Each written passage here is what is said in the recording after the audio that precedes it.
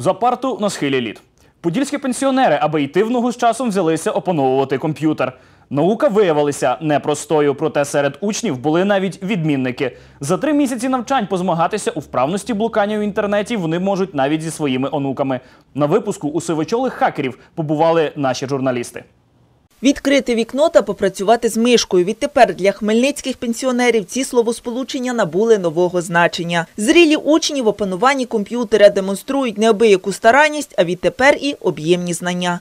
Я навчилася від е, вмикати, вимикати комп'ютер, е, відкривати контекстне меню, е, відкривати панель задач. Хізуватися здобутими знаннями перед онуком відтепер може і ось цей дідусь. За три місяці навчань Станіслав Іванович ні разу не пожалів, що записався у групу. Добре працювали, результат хороший, довольний. Сьогодні я контрольну роботу зробив на відмінно. Ази грамотності поводження з сучасними гаджетами впродовж трьох місяців допомагали опановувати студенти. Майбутні програмісти і практику пройшли і зі своїх підопічних зробили впевнених користувачів. Було цікаво, цікаво відповідати. Тому такі цікаві слова, як гаджети. Ну, ну питали про смартфони, що це таке. Ми пояснювали людям.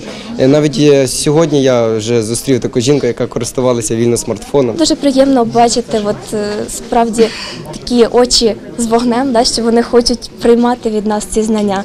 І дуже приємно ділитися цими знаннями. На півтора годині заняття ходили більше двох десятків пенсіонерів. Кожен з них показав неабияку працелюбність. Навіть 80-літні студенти дивували своєю кмітливістю. Деяких е, людей дуже багато рідних е, живуть за кордонами України, щоб вони могли е, користуватися скайпом, щоб вони могли з ними спілкуватись. Дорослі читачі тут отримали нові знання, як я казала, нові навички і уміння.